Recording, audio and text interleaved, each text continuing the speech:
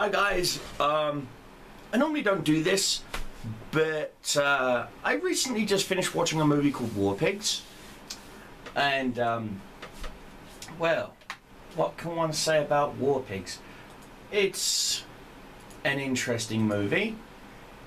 It stars Luke Goss. You may know him as the evil prince elf thingy from um, Hellboy 2. You may know him as the lead villain vampire from Blade Trinity, I believe. Was it Blade 2?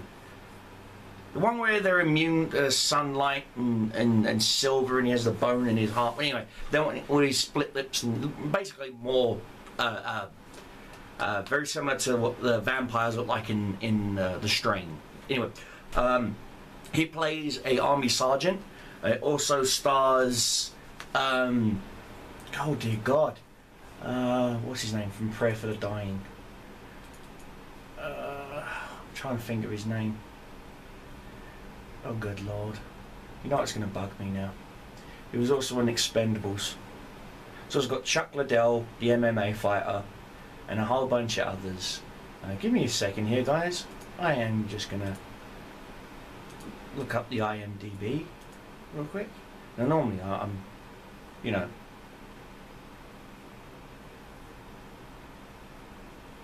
predisposed, you know, with uh, everything that needs to be said. Oh, screw. IMDb. Here we go. Uh, Mickey Rourke, that's the guy. Mickey Rourke, Dolph Lundgren, Luke Goss, and Chuck Liddell.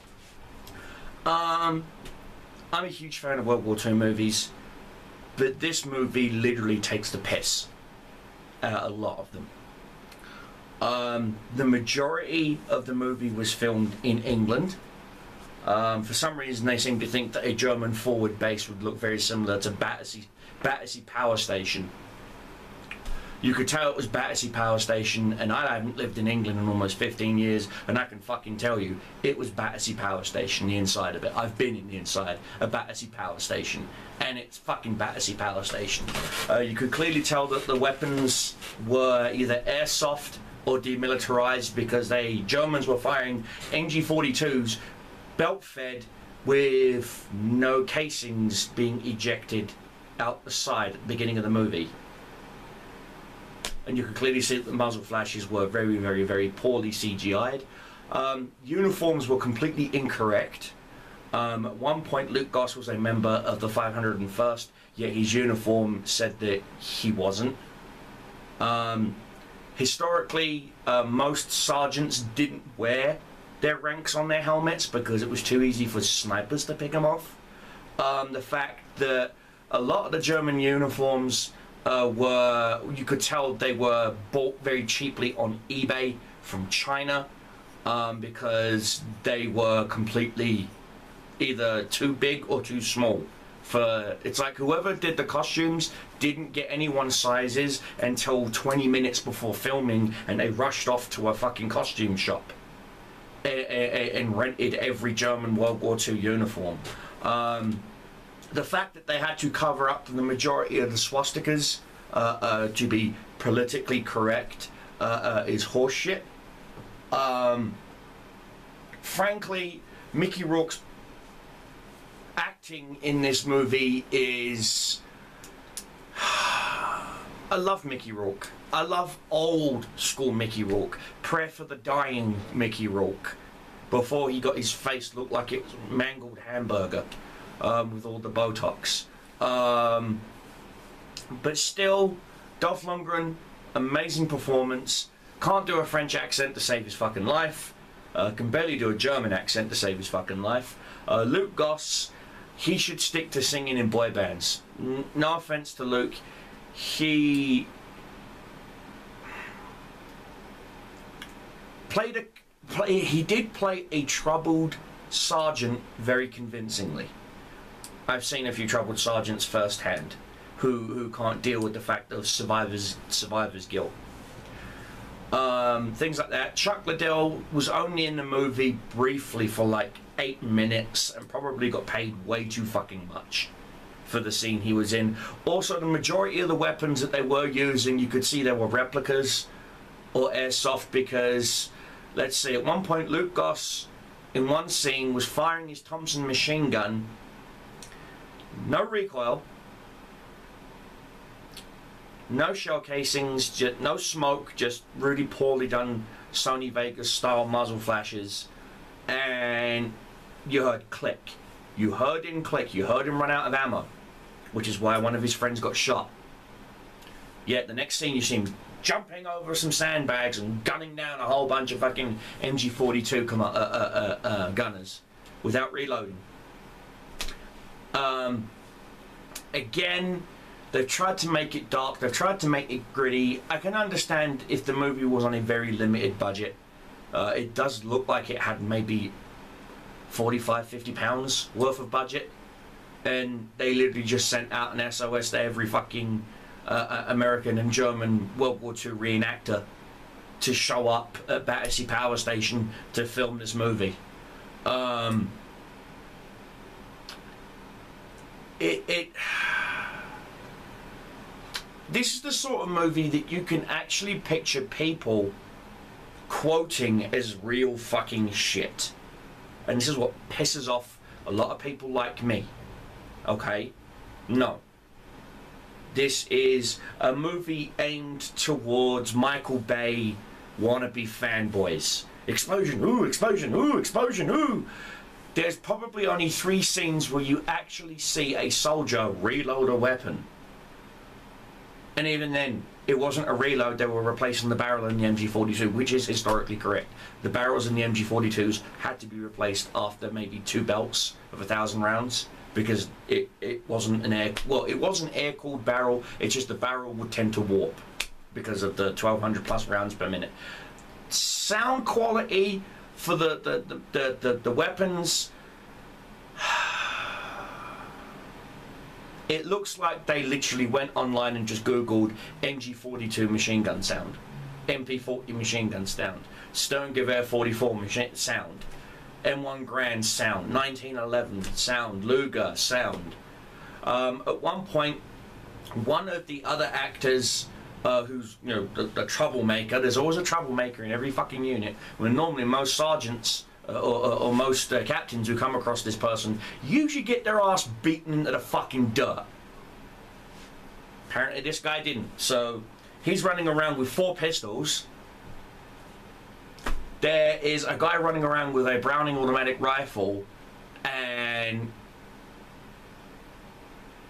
you can tell that there was no weight to the weapon because he was just throwing the fucker around like it was made of plastic because it was. It was an airsoft bloody gun.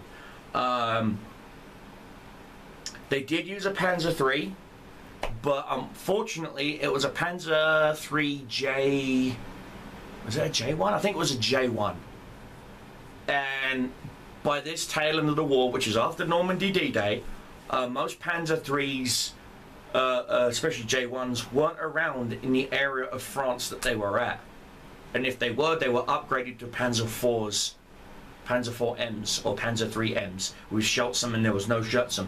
There was no Schutzum and there was no Zimmer on tanks. So you can clearly see they literally went to the Imperial War Museum in London and said, look, here's 300 pounds. We want to rent this tank for 15 minutes and shoot a model. And, and I was really hoping for more about this movie. And it is just a monumental letdown. This is the sort of movie you, you want to show your friends who want to make movies and tell them, see everything in this movie, do the complete fucking opposite. Sorry, I hate to be harsh, but there are much better war movies out there. Um, not just limited to World War II. I'm talking about Vietnam. I'm talking about other wars. Uh, um, Platoon comes to mind. Classic uh, uh, uh, uh, movie. Full Metal Jacket. Classic movie. Ironically, Full Metal Jacket filmed in England. Most people go, no, well, yeah, it was. Do yourself a little bit of, do a little bit of googling. You'll find out the Full Metal Jacket was actually filmed. The scene where they're apparently attacking Saigon, and you see the Patton tanks shooting into Saigon, and you see all these GIs hiding behind a wall. Filmed in London. and you could clearly see that the majority of the movie was either filmed in London or in England. You know, like the England countryside, stuff like that, trying to make it look like the French countryside. Um, also, in certain points, parts of the movie, if you actually pay attention, you can actually see a 747 flying overhead. I don't remember a 747 being in World War II.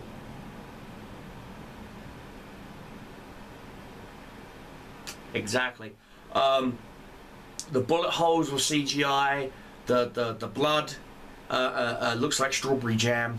You know, you can clearly see that they reused actors in many different scenes. So they probably only had a limited amount of extras, which is why you don't see any great big battles between you know American GI units and, and German units or anything like that. You you. At one point, they reused one of the sub characters actors in another scene just with blood on his face and in hopes you're not going to notice. Um, so yeah, plus the fact that Luke Goss, who is British, who has an incredibly strong British accent, is playing an American captain. What? Uh, again, you would have thought it would, you know, again, with Mickey Rourke signing on to be in this movie, who, by the way, is only in maybe like three scenes, and he's always sitting on his ass what is with that lately? Dolph Lundgren actually did do play a very convincing French Legionnaire. The knife fighting scenes looked like they were somewhat rehearsed slash slash somewhat researched, but the majority of it was all completely fucking wrong, especially for World War Two. Um, gee, just, dear God. Um, right now, I believe War Pigs is available on, in in Redbox and a few others. Uh, you can get it on video on demand, things like that. A friend of mine uh, uh, um, showed me the movie. We were at his place and, and whatnot, and dear God, just just I, I I had to leave. I had to get up and walk out of his living room for like ten minutes because the, just just dear God, no, fuck God, no, no. Poor God, no. Just no. No. No. I am not a film critic. I am a game critic. If this came out as a game, which I'm probably surprised it's not come out as an Android iOS game or or or a clickbaity game on Facebook or some shit like that. I'm surprised it, it, it, it's, it's, probably in the works. Okay, it's probably in the works. It's probably going to be done by LJN or Jakks Pacific or, some other poor fucking shovelware game developer. I'm so glad LJN isn't around anymore. Um, trust me, the angry video game nerd knows what I'm talking about. And so, at the end of the day, guys, is it a hit or is it a miss? It is a fucking miss by a goddamn long shot. Will I watch it? God no. I watched it so you don't have to. And that's where I'm going to end this video, guys. So until then, take care. And dear God, don't watch this fucking movie. Save yourself. Dolph Lundgren. Don't even put it on your resume. Bye, guys.